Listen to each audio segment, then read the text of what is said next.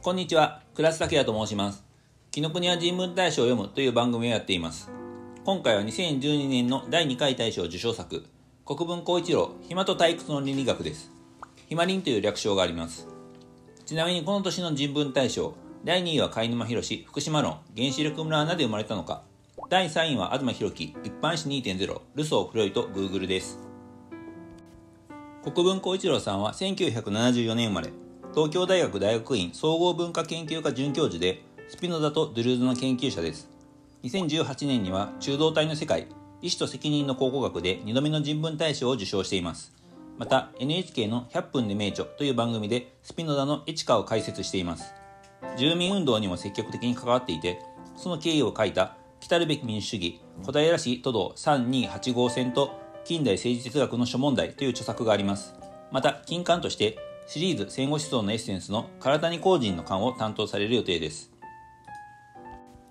それでは、ひまりんの内容に入りましょう。後書きで高校生だった頃の国分さんが、俺は今自分のフィロソフィーを作っているところだと話すシーンが描かれます。そしてこのひまりんが自分のフィロソフィー、すなわち哲学であるとされます。それではそもそも哲学とは何でしょうか？様々な定義がありますが、ドゥルーズによれば哲学とは概念の創造です。そして概念の創造は過去の哲学者の問いを批判することによってのみ可能であるとされます。ヒマリンではハイデガーが批判されます。それではハイデガーを批判することによって創造された新しい概念とは何かそれが環世界移動能力という概念です。それではこの概念がどのように創造されたかを読んでいきましょう。環世界とは生物学者のユクスキルの概念です。私たちは自分たちを含めた動物や昆虫や植物といった生き物が同じ一つの大きな世界を共有して生きていると考えています。そしてその世界は同じ時間が流れ、同じ空間が広がっていると考えられています。このような考え方をユクスキルは批判しました。世界は存在しません。マルクス・ガブリエルのなぜ世界は存在しないのかというベストセラーがありますが、どんな生物もそんな一つの世界を生きているわけではありません。ユクスキルは例としてダニの狩りの様子を描きます。ダニは血を吸うために酪酸の匂い、摂氏37度の温度、体毛の少ない皮膚という3つのシグナルに沿って行動します。つまりダニはこの3つのシグナルだけで作られた世界を生きています。他の匂いや音、光や雨や風はダニにとっては存在しません。このようにそれぞれの生物が経験している具体的な世界のことを環世界と言います。ハイデガーはこの環世界という概念を人間に適用することを批判します。例えば、ミツバチは餌というシグナルによって取りさらわれていると言います。取りさらわれるとは、何らかの衝動によって駆り立てられるということです。ハイデガーによれば、取りさらわれることはシグナルにとらわれた存在であることを意味します。そして人間だけが動物と違い、シグナルにとらわれることなく、この世界はありのままに、この世界を世界そのものとして、ものをもの自体として認識できるというわけです。ハイデガーには大変有名な3つの命題があります。1、人間は世界を作る。2、動物は世界が貧しい。3、石には世界がない。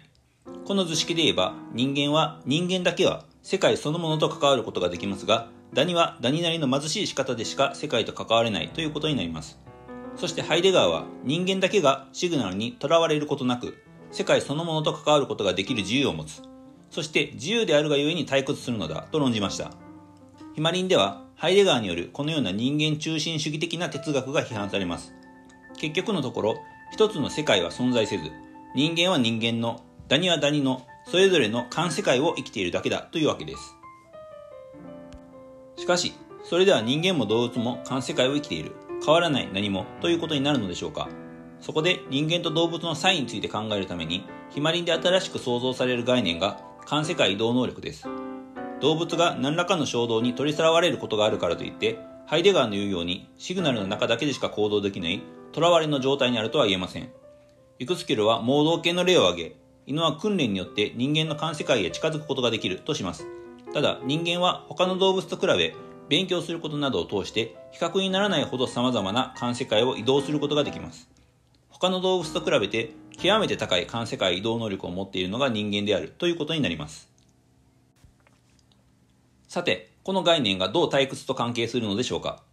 ヒマリンによれば、人間が退屈するのは、動物と違ってすぐに別の環世界に移動してしまい、一つの環世界にゆっくりと浸り続ける能力を持たないからだとされます。逆に言えば、動物は人間と比べて、一つの環世界に浸り続けることができるとても高い能力を持つということができます。ゆっくりと浸っていることができるような環世界を生きるとき、言い換えれば動物になるとき、人間は退屈していないことになります。ここから退屈をどう生きるか、ヒマリンの内容から導き出される結論として2つ挙げられています。1つ目は、ふらふらと環世界を移動してしまう退屈な人間の性をそれでも楽しむことです。これは贅沢を取り戻すことと表現されます。ボードリアールは浪費と消費という概念を区別しました。ヒマリンでは贅沢とは浪費することであるとされます。浪費とは必要の限界を超えて物を受け取ることであり、浪費こそが豊かさの条件であるとされます。そのような浪費に対して近代では消費が始まりました。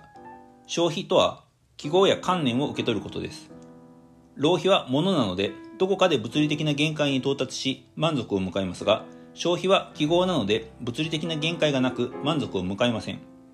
このような消費社会を見事に描いた映画として、デビッド・フィンチャー監督のファイトクラブが紹介されます。消費社会が提供するような記号的、観念的な贅沢とは違う仕方での贅沢について、社会主義者のウィリアム・モリスの思想をもとに答えた文章は、ヒマリンで最も有名な文章です。引用します。人はパンがなければ生きていけない。しかし、パンだけで生きるべきでもない。私たちはパンだけではなく、バラも求めよう。生きることはバラで飾られねばならない。モリスはアーツクラフト運動という活動を始めました。社会主義革命、または共産主義革命が達成されることで、物質的にも時間的にも豊かな社会が達成されます。そんな革命後の社会をどのように生きるべきか、モリスはその時に大切なのは、その生活をどうやって飾るかだと答えました。暇な時間の中で自分の生活を芸術的に飾ることができる社会。芸術作品を味わうことの訓練が生活の中で日常的に行われている社会。それこそがモリスの考える豊かな社会です。人の生活がバラで飾られるようになれば、つまり贅沢を取り戻すことができれば、それは社会変革にもつながるとされます。二つ目は、退屈な人間の性を楽しむことによって、人間の性から外れて動物になることを待ち構えることができるようになるということです。パスカルは人間は考える足であると言いましたが、ドゥルーズは人間は滅多に考えたりしないと言いました。それでは人間はどういう時に考えるのでしょうかドゥルーズによれば、それは外側からショックを受けて考えるのだとされます。それは不法侵入とも呼ばれています。そしてヒマリンでは、不法侵入によって考えるとき、人間は取り去らわれている、つまり動物になることが起きているのだとされます。そのことが第一の結論とつながっていきます。贅沢を取り戻し、バラで飾られた生活を送ることによって、思考を強制する不法侵入を受け取ることができるようになるのだとされます。ドゥルーズは映画や絵画が好きでした。アベセデールというドゥルーズのインタビューを集めた映像集で、なぜあなたは美術館や映画館に行ったりするのかと聞かれ、ドゥルーズは、私は待ち構えているのだと答えています。また、ドゥルーズは、あなたにとって動物は何かと聞かれたなら、それは待ち構える存在だと答えるだろうと述べています。自分が取りさらわれる瞬間を、動物になることが発生する瞬間を、映画館の暗闇の中でダニのように待ち構えているわけです。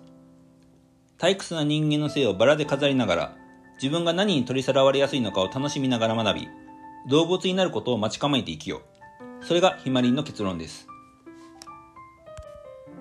国分光一郎さんには山崎亮さんとの僕らの社会主義という対談集があります。この対談では、二人の考える社会主義について読みやすい形で論じられています。例えば、贅沢を取り戻すと言っても、結局それは金持ち向けのエコでロハスで SDGs な社会主義なのではという疑問や、建築がモダンのキーワードだとすれば、ポストモダンのキーワードは土木なのではないかという話など、大変面白い議論が展開されています。また、今後千葉雅也さん、東博樹さんの書籍を紹介する予定ですが、言論7の対談では、国分さん、千葉さん、東さんの立場がそれぞれ接続、切断、誤配と整理されていて大変読みやすいです。それでは終わります。